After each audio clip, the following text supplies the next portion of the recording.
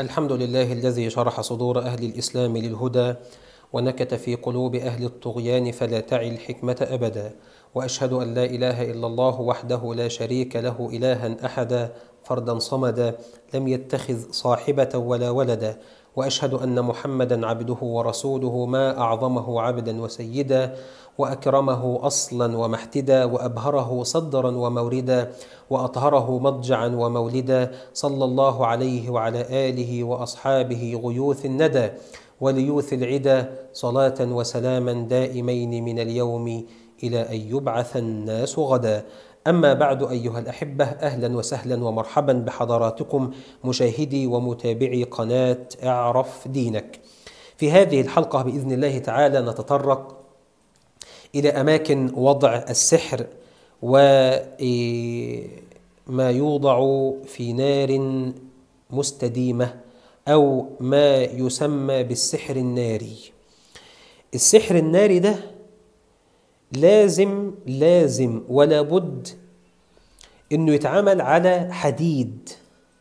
يتعمل على إيه؟ قطعة حديد. تمام؟ بيعمل بيكتب السحر ساحر بيكتبها على قطعة حديد بيفحرها طلاسم اللي هو مطلوبة تفريق أو غيره يكتبها على قطعة حديد. ويطلب الساحر من الشخص اللي جاي يعمل السحر إن هو يحطها تكون قريبة من النار. وغالبا غالبا ما توضع عند الأفران بتاعة العيش. الفرن بتاع العيش يقول له مثلا خد اهي ويعملها في سلسلة ويعلقها تكون قريبة من الصهد والحرارة والسخونية بتاعة الفرن فرن العيش. الفرن طافي مش شغال تلاقي الشخص عادي وطبيعي جدا. ويعامل الناس كويس خالص ويعامل مثلا زوجته كويس جدا أو الزوجة مثلا مش تعبانة مش مريضة تبقى كويسة وتعيش حياتها طبيعية.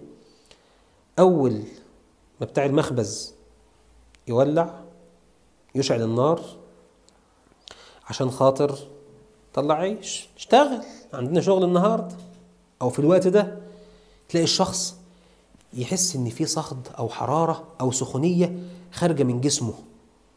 في الوقت ده بالذات ممكن مثلا يبقى في الشتاء في البرد يقول لك يعني مع البرد ده كله أنا حران أنا مش طايق الهدوم اللي عليا. وممكن كمان ما يتغطاش مثلا وهو نايم بالليل. لأن الفرن شغال بالليل. آه.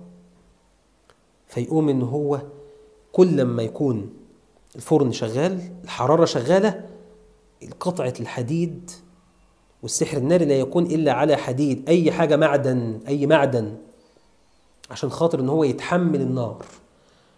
كل لما تشتغل الفرن والنار تشتغل وتأثر الصهد بتاعها يأثر على قطعة المعدن أو الحديد المريض تلقاه يثور يهيج عنده مشاكل تعبان مريض عندها نزيف يحصل مش عارف إيه وهكذا. فيطلق عليه السحرة اسم سحر ناري ويطلقون على صاحبه ذو طبع ناري. كما ذكرت ان هو يوضع في عند النار ولا يكون إلا على معدن. لا يكون إلا على معدن أسأل الله سبحانه وتعالى أن يعلمنا ما ينفعنا وأن ينفعنا بما علمنا إنه ولي ذلك والقادر عليه.